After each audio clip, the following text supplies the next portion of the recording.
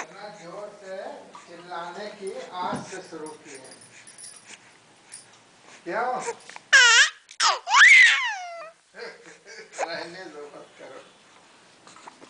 इतना